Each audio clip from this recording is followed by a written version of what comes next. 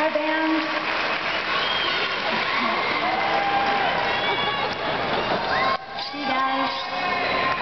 Ah,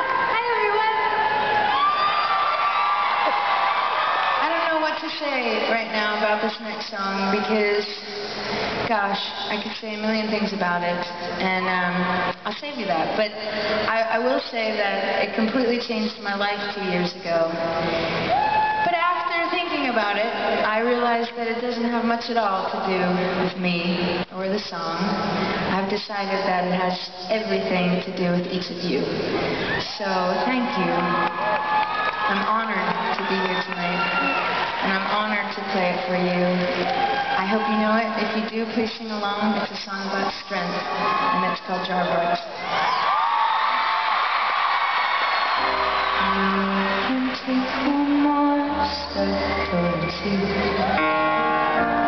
Sauce waiting is regret.